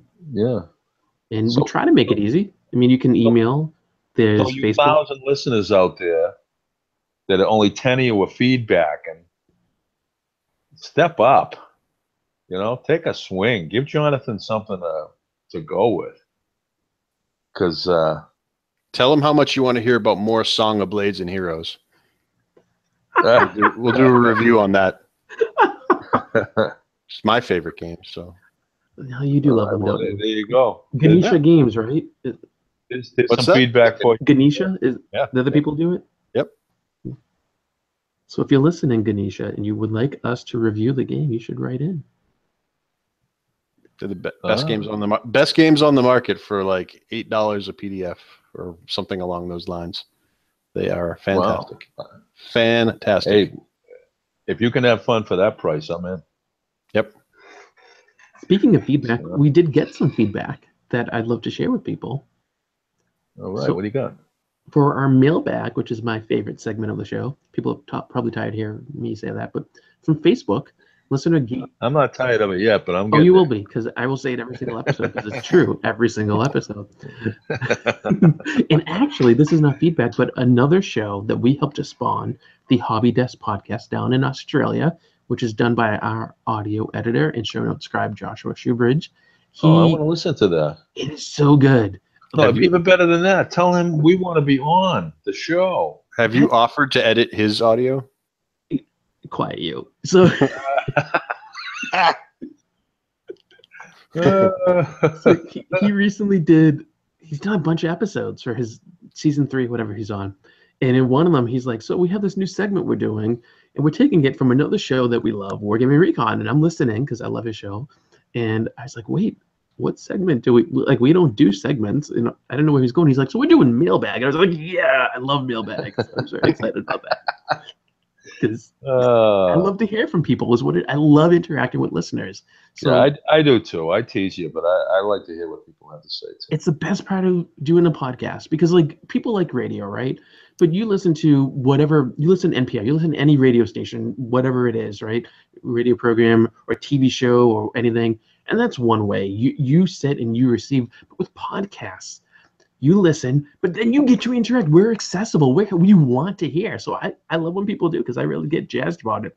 And a lot of the times people who write in they really are part of the community. The people we get to know whether physically in person or remotely through this, but form friendships with them, and it's amazing. It's just that's that's totally it because it's more than just a one-way consumption of a product. Like it's totally about enjoying a community, and I mean, in the end, it, we're all playing games. Like we want to hear what people want to play. I like talking about what I like to play when I get to play them. um, you know, but it, you know, it's basically friends hanging out doing a podcast about wargaming, and we kind of expect the larger friend group to grow. exactly. Yeah, I hope so. Yeah. Uh, For me, one of the the best examples of this, and this goes back many many moons ago. There was a guy who started leaving feedback, uh, named Andrew, and he started leaving feedback, and then he started emailing me. So then we had these really intense email conversations, which led to us chatting online and getting to know each other more and more. And eventually, he passed away, and his mother wrote me to, to let me know that he had passed away because he was sending care packages here with things he thought might be of interest to talk about on the show and everything. And she's like, he had this ready. We found it when we found him and thought he would like you to have it. And that is why the show is dedicated to his memory and honor. And that would never have happened if he never started uh, leaving feedback. Yeah, that's just Wow. amazing. I mean, just over over years, and so you never know. It, it, it's quite interesting, actually. Um, but that's why mailbag is my favorite segment of the show because it can change so many things for so many people. Can And change lives. We, ge- we joke, but it's true. No, it is. It is. I know. We it's it's fun to to tease and to make jokes, like Mike said. But I mean, in the end, like I just said, I mean, it's about making more friends and having a, a, a common interest and talking about it. That's what I love about this hobby anyway. You know, I mean, I, I don't think I realized it for years, but the best part of this hobby is the people that you meet. Yeah, I mean, Mike, I met you over the winter for the first time, but I felt like we had so much in common right away. You know what I mean? Like it was just easy to Yeah, I do know what you mean. and- I, I, I just feel talk about it and kick back and, and enjoy. Yeah, well, when you like the same things, you know, it just connects. Yep. Yep. It feels weird we, because I wouldn't, mean, we it- wouldn't be here now. It- it's wargaming, but I've had people write in to say that the show's helped them through depression and all sorts of really terrible, dark things that like they've gotten through from listening to the show. And like I get those emails and Yeah. that feedback, and I'm like, wow, because That's cool. That's we're really here, cool. we're, Well, we're talking about a game. I, I just posted a uh, something on the Barbarians that somebody had put up about gaming and depression, and that that was this person's story in this article was you know gaming got her out of her depression. You do. You And, hear a uh, lot about yeah. that too, which is really, really, really nice. I mean, Yeah, I mean if you're gonna Yeah. take drugs, this is it, man. You know. it's as expensive. Yeah, yeah well, yeah, yeah, but the side effects aren't as bad. that that is true.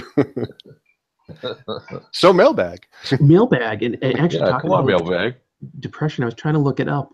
Um, Josh Shoebridge actually did an episode of us on here. Uh, he suffers from environmental uh, depression, and he was talking about how wargaming helps him Oh. through his depression. So we did a Oh, whole okay. episode about it. Uh, Oh. 2016, I think, sometime. I don't wow. have the exact episode Hmm. name. Um, here we go. Episode 162, Wargaming Against Depression with Joshua Shoebridge. So we Oh, did no back in 2016. We talked about it, but Wow, there you go. Yeah, gaming is such a good thing. it's an eye opener. Um, but our most recent bit of feedback comes from Facebook from listener Gabriel, who talked about episode 187, the Maine historical Wargamers Association episode.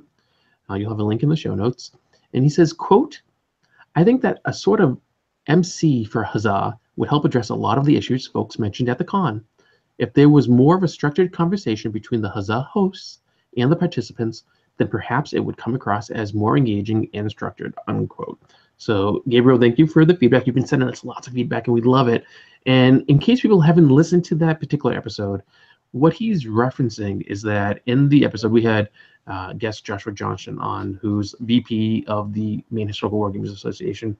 And we were just kind of talking in particular, I think, and I'll be corrected if I'm wrong, but about the theme. Uh, and Mike, you were talking about how you don't care about themes for your game. Uh, but their theme, they had a really specific theme for Huzzah. And it was the frontier, the Afghan wars with the British colonial troops and all that kind of stuff. I And- painted figures for that. You did. And that that are in Shanghai now. I didn't see any of the games, and we were talking about that. Like we didn't even know that it actually got followed through Yeah. because all the attention was on a, a different game in a different setting, and just how people weren't aware of that. And um, in that episode, I talked about with Joshua how at TotalCon actually they had a theme um, for 2017. It was like wagons go or something. It was cowboys and stuff. Didn't even know it was a theme. We got there and was like, why is there all this Wild West stuff on Right. their brochures and everything? We, we had no idea.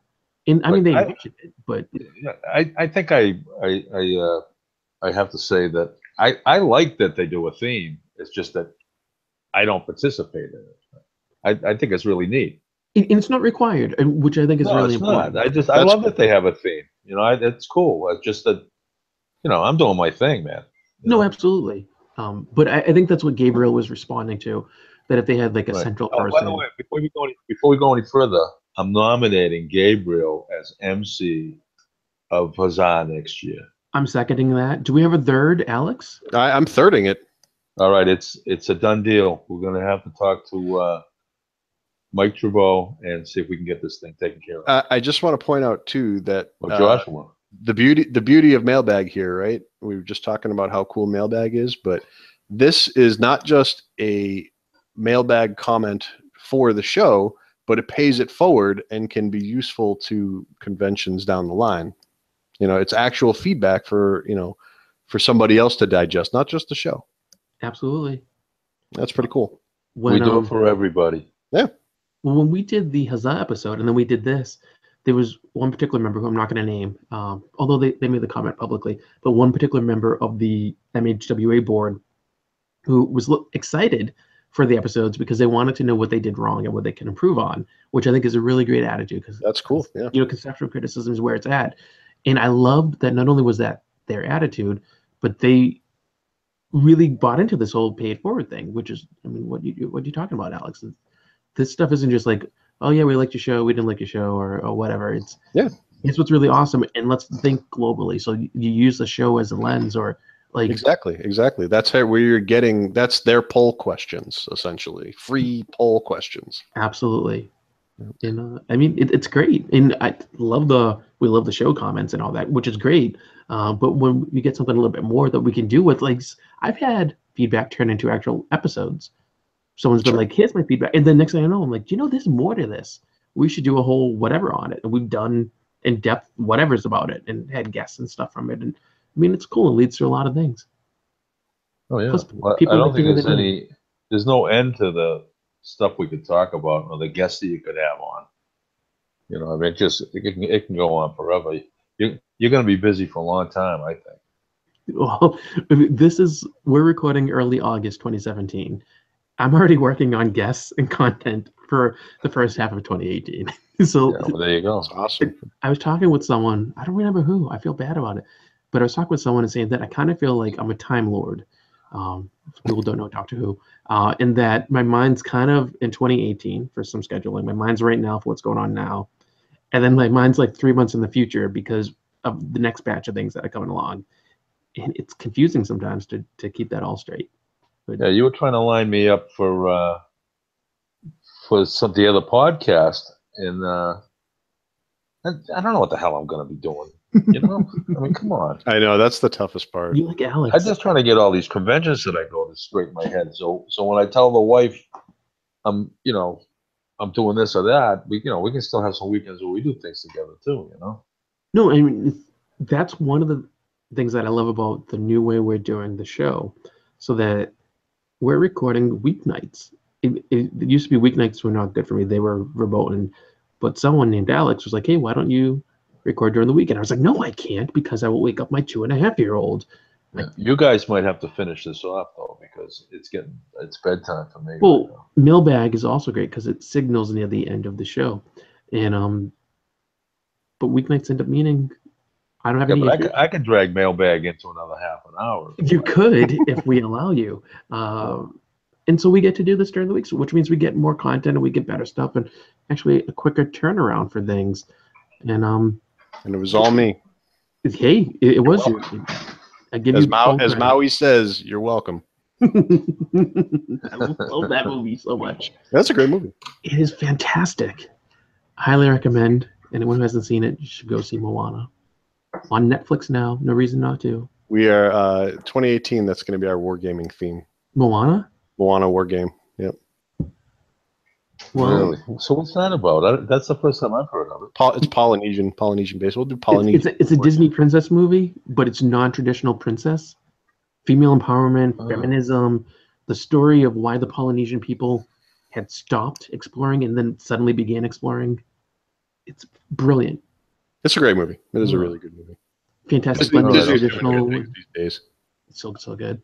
Um, we have announcements, which is actually I guess another segment we do on the show. So you guys kind of alluded to it already, but there's a Wargaming Recon Facebook group, which we are still in the working out the naming of. Um, but we got a link in the show notes, which are at wargamingrecon.com slash WR190 show notes, and that'll have the link to that and other stuff we talked about. But the Facebook group is really cool so that listeners can hang out, right? You just chat about the hobby, chat about the show. We've had some really good discussions lately. Some people have shared pictures of minis, such as you, Alex. You shared some stuff, which are really cool. And there's a poll I started that I think is a lot of fun, where people are voting for their favorite podcast guest so far this year. And I just I want to say I've not voted in it because I would skew the results because I love all our guests, and that's not just me covering my butt. It's legit. Like I really I can't pick one because they're all amazing. But so far, either. So we, we, we do have a winner so far and i mean it's ongoing so people can take the poll go to the group and whatever but uh, jasper's pulling out so far as uh, the the lead horse in the race yeah, that was a fun one. and uh, so we'll see how that goes uh, what people might do we'll, and we'll add people i guess as we have more guests on or show topics and um it's, it's neat I, you don't get anything for winning or anything but it's just kind of fun to see Well, maybe you should. are you going to give him a prize mike No, but you. How about you paint something? for Paint a miniature. That's always the prize. Come on. that's always on. a prize well in that case on, i you think can we'll shut it. down the poll I'll tell you what. If you paint one, I'll paint one. I will do something. You paint one, I'll paint one. I will add that. Oh, it's a, it's a matching program now. It's like a That's match, right. Yeah. matching Oh. painting 401k. yeah, it's like when you uh, do a charitable contribution and your corporation's listed, Yeah. and they match you. Um, That's exactly For, what. for every miniature John paints, it'll be matched by one of us. it- it- Right. it's That's great right. because you guys know you won't have to paint anything. So, Yeah, we won't have to do much. um, and then we have an Pretty update for everyone about the Roku channel. We've been talking about a little bit. So it's not great news. According to the Nerd Broadcasting Network, which is a group that's putting it out, there's a delay, and it's because funding's been delayed. Uh, I can't really talk a lot about what that is. It's not terrible, uh, but the plan is for the Roku channel to come out winter 2017. Originally, it was supposed to come out like early fall, late summer, but looking like winter. So when we have more info, we'll share that. But I do have some good news because I know people really, really want to see this. Uh, I just got word, actually, as of this morning, when we before we were recording today, that the final cut for the documentary that I am in, as a word, a word, and now a word from a gamer. I should know the name. And now a word from a gamer is uh, almost finished, complete, and they have plans to do the whole, um, you know, film circuit festival thing, and then they're gonna do a premiere in Baltimore. They'll also show it at TotalCon, and then you'll be able to buy um, Blu-rays and DVDs. They're gonna get those made coming out, and then you'll be able to buy uh, digital copies via Amazon. So when that actually happens, uh, we'll have links and stuff to that, so you can get that, and then you can see. I don't, I haven't seen it, so I, I don't know how much screen time I'm in, but Adrian's in it too, so that's kind of cool. And, uh, Yeah, I, I definitely want to have a copy of that. be able to see it. Uh, Yeah, and I don't know what the price point is either, so don't ask. But Oh, whatever. affordable, I'm sure. Yeah, you know, it's not like buying a truck. No. Oh, so, so that's good news. It is, it, it'll be cheaper than It a is. truck. Yeah, I would, I would figure, yeah. Yeah. and then Cheaper um, than a tire. that, oh, don't don't talk to me about tires. Um, we should thank our Wargaming Recon Army members, aka our Patreon backers. We've recently rebranded our Patreon campaign, and um, we are now calling calling it the Wargaming Recon Army. Nice. That's- Was also That- done when I decided. Are we going to have rankings? We we could. Are are you Oh, like that's the really five star cool. general? We can tie rank names to um, To the, the pledge donation. levels. Yeah, pledge levels. Yeah. We could do that. That's awesome. Oh. So I want to thank Oh, Patrick, and Kyle from Vermont for uh, their support. And uh, speaking of the Wargaming Recon Army, aka our Patreon campaign, uh, we've had a little bit of a setback. We've lost some patronage there. So we were halfway to one goal, and then we've actually dropped down. So now we're one dollar away from the previous goal that we had previously met, and we're hoping we can reach it. It's only one dollar per month that we're away from. how did we how did we lose them? Did we have a, a bad If show? you- If you donate, you become the rank of modern major general wow. and Can we just call him Major Tom? ground control. the Major Tom. Um, yeah, no, it's. Uh, I think that that would be a, a very good idea. Yeah, uh, so we're. Ho- I mean, it, it's it's one dollar away, and this goal is, allows us to buy better equipment. So as long as we meet that goal, we can keep buying better equipment. The last piece of equipment we bought, if you watch the video, you see it's right here. It's a Blue Yeti mic, really really good. Allows us to do a lot of stuff in per- We did it for the Havoc episode. We Mhm. used to do whatever. Uh, we still need to get some more accessories for it and things and some other equipment for this and for other things we're doing. So hopefully we can soon reach that goal. Uh, yet again, it's only one dollar away, and uh, you can support the show and become a member of the Wargaming Recon Army by going to wargamingrecon.com slash Patreon. And it costs as little as one dollar a month. You'll get episodes before non Wargaming Recon Army members. You'll get uh, extra content. And for example, you become a member, you get access to that video I mentioned where you see me assemble some travel battle stuff. So If we get enough members in the army, maybe we can put together a press gang. hey, there you go. Yeah. it's a good way to do it. So you guys can check that out. And then you can also, of course, check out the show notes, wargamingrecon.com slash WR190. And you can get links to all the things that we've talked about and all that kind of stuff. So do we have anything else we want to discuss before we wind down for the episode? I'm sure I could think of a bunch of things, but I gotta go to bed. You're going to get up at like four in the morning. Three thirty. Oh, sorry. Yeah. That's early. I'll be on the road by four. That's terrible. Oh wow, ouch. Yeah, what? Uh, where where are you driving to? Natick. Oh wow, that is wow Math MathWorks in Natick. wow. Up the road for me. Sorry, man. Yeah, I know, huh? Yeah. That's all right. Don't be sorry. I'm getting paid. Getting paid Um, is good. I, I'm gonna I'm gonna throw it to the uh, the question of when are we uh, gonna put our characters together for our D and D game? So I believe that the last discussion on that was a matter of Yeah, I know. you needed to come up with a date Yeah. and we would make it work. Yeah okay. And I think the last thing you said was, "Oh, okay, I'll look into that." well, if we're gonna do it, you have to bring the mic, and we'll record our ca- our character creation, and it can be uh, Patreon content. Oh, we can do a video. Yeah, we can do a video either way, Sure. or both, whatever. hey, yeah, I'm all in favor of that. We get the webcam All right, and stuff we can do. all right.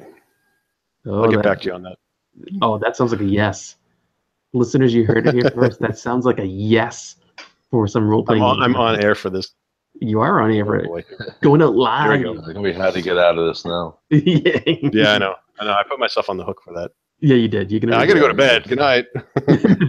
oh, did I say something? No, that wasn't me. I gotta get up at like two in the morning or something. Yeah, I'm hanging up on you guys anytime now. So Well, gotta All let me right, I'll let, I'll let John wrap it up. I want to thank All both of you for being on this episode and for talking about OGC and all the cool stuff that we've been doing. And I got to say, Alex, it's been way too long since you've been on, so we're gonna make you come on more frequently. I like it. That's right. Absolutely. Yeah. Thank that's you. fun. I, I, Mike, I think he only comes on when you're on because he won't come on when it's just me or someone else. So Well, good. I, I like when he comes on. It's that's true. It's the thing. it is Crack, true. you cracked the code. There we go. I figured it out. It's like a Konami code. Yep. Up, up, down, down, Uh, B A B A B A start. Um, or two players select start. So anyway, thank you for that, and I want to thank all of you listeners for taking the time out of your very busy schedules to listen to this episode of Wargaming Recon. And I want to remind you that the next episode, episode 191, it's crazy. I can't believe we're almost up to 200. But 191 comes out September 4th, 2017. And that one is going to be a really cool episode. They're all really cool episodes, right? But that one's going to be really cool because it's going to be about a really fun event. Uh, and that is the Hobby Bunker Game Day 2017. So that's September. And then right after that, September 18th, is the Sam Mustafa interview, which I'm really looking forward to. And we got every single, we get the rest of the year planned out. So you can find that out at the episode guide, which you can get you by going to the show notes, wargamingrecon.com slash WR190, and that'll give you all of that. So thank you yet again. And as always, you know the drill. No matter how busy you are, no matter how much time you are spending at the Open Gaming Convention or harassing me about my painting, you know that you have to, you gotta, you need to keep on gaming.